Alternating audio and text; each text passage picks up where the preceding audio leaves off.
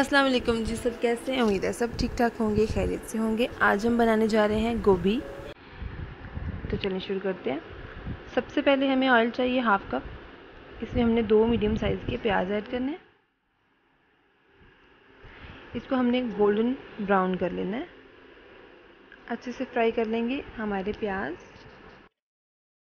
गोश्त की बहुत सारी रेसिपीज़ हो गई थी, हमने सोचा चले हम कुछ सब्ज़ी बना ली जाए। तो इसलिए हम आज आपके लिए आलू गोभी लेके आए हैं। बहुत ही इजी एंड बहुत ही डिलीशियस रेसिपी है। ज़रूर ट्राई कीजिएगा और फीडबैक देना मत भूलिएगा।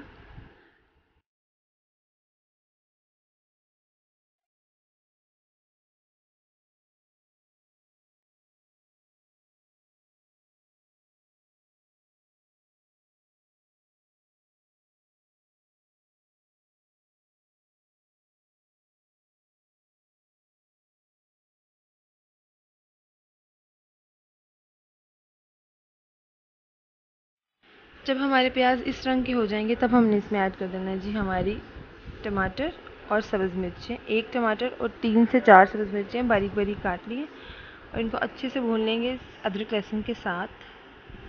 दो चम्मच लहसुन अदरक ऐड किया है यहाँ पर मैंने। और इसको हम अच्छे से फ्राई कर लेंगे। जब इसकी खुशबू निकलना शुरू हो जाएगी, तब हम इसमें हमारा सॉल्ट और एक चम्मच सॉल्ट और आधा चम्मच हल्दी और एक चम्मच सुरख मिर्च पाउडर ऐड करेंगे। थोड़ा सा पानी और इसको अच्छे से भून लेंगे ताकि हमारी मिर्चें जो हैं वो उड़े नहीं। इसको 10 से 12 मिनट तक हमने ऐसे ही पकाते रहना है। जब इसका एक अच्छा सा मसाला बन जाए, तब इसमें हम ऐड कर देंगे आलू। मेरे पास यहाँ पे आधा किलो आलू हैं। आप कम या ज़्यादा कर सकते हैं। आधा किलो आलू, इसको हमने तब तक भूनना है जब तक ये आधे गल ना जाए। इसको दम दे देंगे हम, ताकि जो सब्ज़ी है वो अपना मॉइस्चर रिलीज़ करे और अपने ही पानी में स्टीम के साथ ही पक जाए। पानी हमने इसमें ऐड नहीं करना।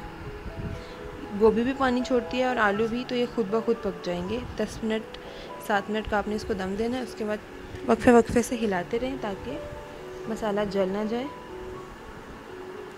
अब साथ ही हम इसमें ऐड कर देंगे गोभी। आधा किलो गोभी है हमारे पास। फूल गोभी। और इसको अच्छे से हिलाएँगे और फिर इसको भी दम दे देंगे। याद रखें कि जो मैंने आलू जब मैंने ऐड किए थे, तब मैंने इसमें पानी दो चार चम्मच ऐड किया था, लेकिन गोभी में आपने पानी ऐड नहीं करना। गोभी का खुद का ही बहुत सा मॉइस्चर रिलीज़ हो जाता है। जब ये गलेगी सॉफ्ट होगी तो ये पानी छोड़ेगी तो आपने इसमें नहीं डालना। पानी 10 मिनट का दम देना है हमने इसको और 10 मिनट के बाद हमने इसको खोलना है। तब तक ये खुश्क हो चुकी होगी।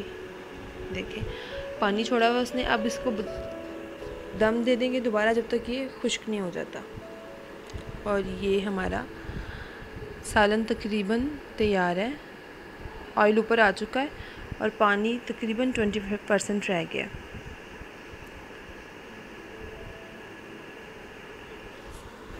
स्टेज पे आके आपने सालन को छोड़ना नहीं है, हल्के हल्के हाथों से थोड़े थोड़े वक्फे में हिलाते रहना है ताकि हमारा मसाला जो है वो जल ना जाए। आलू चेक कर लेते हैं, गले हैं कि नहीं?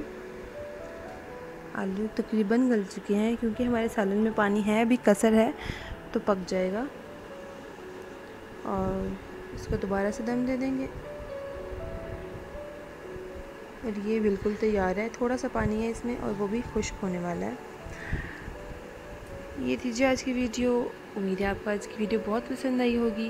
पसंद आई हो तो लाइक ज़रूर कीजिएगा और सब्सक्राइब करना बिल्कुल मत भूलिएगा और मेथी डालना तो बिल्कुल भी मत भूलिएगा।